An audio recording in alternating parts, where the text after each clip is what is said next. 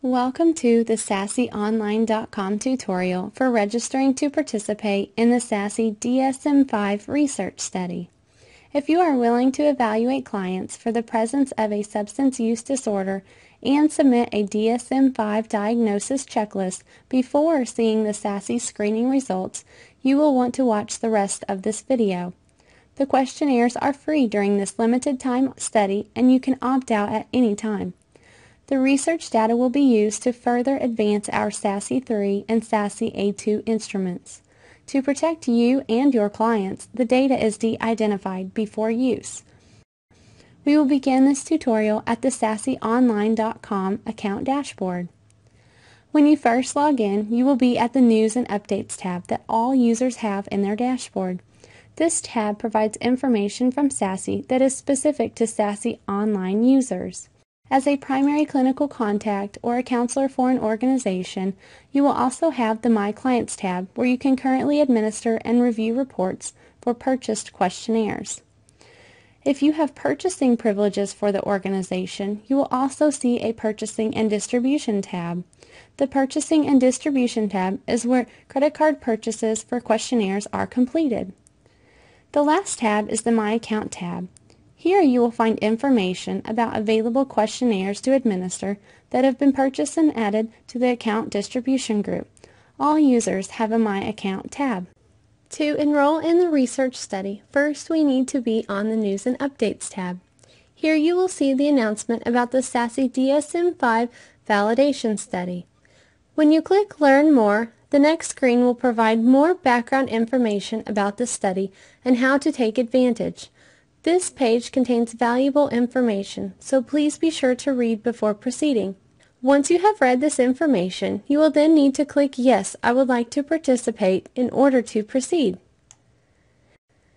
If you haven't filled out a qualification form or you filled out your qualification form before August 6, 2012, you will need to update your qualification information. You will now see the disclosure statement that you must agree to in order to participate in the study. If you decline to accept the disclosure statement, you will be returned to the dashboard where you can continue to administer SASSI questionnaires and not participate in the research study. After clicking Accept and Return to the dashboard, you will then be returned to your dashboard. Now you have successfully registered to complete free SASSI online questionnaires as a part of the SASSI DSM-5 research project. You will now see that you have an added tab to your account dashboard, the Research tab. You will use the Research tab as a workspace to assign research questionnaires to clients and submit DSM-5 diagnostic information. Let's get started by clicking on the Research tab and learn how to administer free questionnaires. On the left you will see an Administer button, much the same as the My Clients tab. Please note that you cannot administer free research questionnaires from the My Clients tab. You must administer from the Research tab. To administer a questionnaire, click the Administer button and you will see several options. The first two are the options to administer the Adult SASSI 3 and the Adolescent SASSI A2. The steps to administer questionnaires are the same, so we'll just pick this one. After entering the demographic information, you will be asked if you would like to enter the DSM-5 checklist information now or later. Also note that you can print out a blank copy of the DSM-5 checklist and complete it by hand for later entry.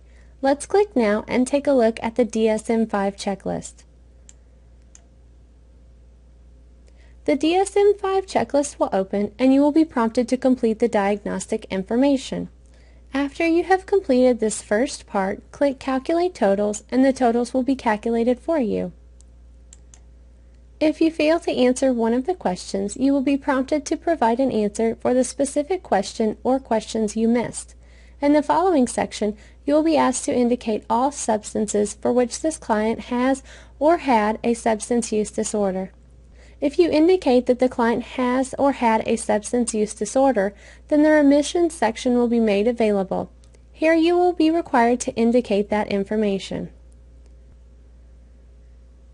The final section of the DSM-5 checklist is to indicate at the beginning of treatment your client's readiness for change. Please select one of the following options. Now you have completed the DSM-5 checklist. Click Submit to proceed. If you choose to cancel, this will cancel out of the process of assigning the questionnaire and you will be taken back to the dashboard. After clicking Submit, you will be presented with the standard delivery options. Once the questionnaire and the DSM-5 checklist are completed, the client will then be moved to the My Clients tab. This is where you will be able to review the report and questionnaire responses as usual by selecting the client and then clicking the Results button in the My Clients tab. If, when assigning a questionnaire, you decide to complete the DSM-5 checklist later, the client will remain in the Research tab until the questionnaire is complete and the DSM-5 checklist has been entered. To enter the DSM-5 checklist after you have already assigned the questionnaire, select the client from the client list in the Research tab, then click the button that says Enter DSM-5, and the DSM-5 checklist will open for entry.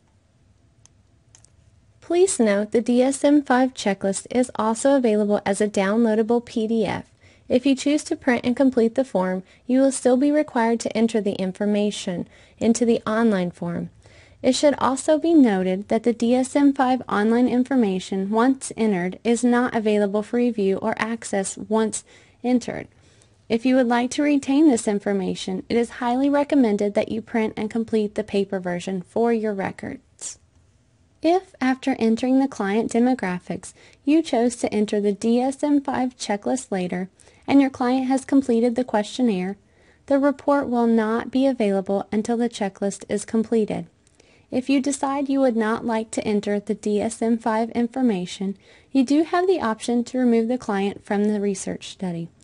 However, since the questionnaire is free when fulfilling the research requirements of entering the diagnosis information, you will be required to have a paid questionnaire available to remove the client from the study and gain access to the report. You may do this by selecting the client from the client list on the Research tab, then clicking the Opt-out button. Once you have removed the client from the study, they are moved to the My Clients tab, where you are deducted one questionnaire from your available questionnaires in your account. When clicking the Opt-out button, you may also see that you are able to opt out of the study entirely. By doing this, any remaining completed questionnaires will be deducted from your available questionnaires and moved to the My Clients tab. Thank you for your interest in our research project and for watching this video.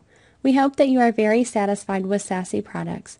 If you need assistance, please give us a call at 1-800-726-0526.